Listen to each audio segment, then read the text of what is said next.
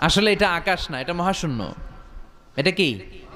আকাশ অনেক উপরে। আমরা খালি চোখে যা দেখি, এটা প্রথম আকাশের মহাশূন্য। এই প্রথম আকাশের মহাশূন্যের অনেক উপরে প্রথম আকাশ। তারপরে দ্বিতীয় আকাশের মহাশূন্য, তারপরে দ্বিতীয় আকাশ।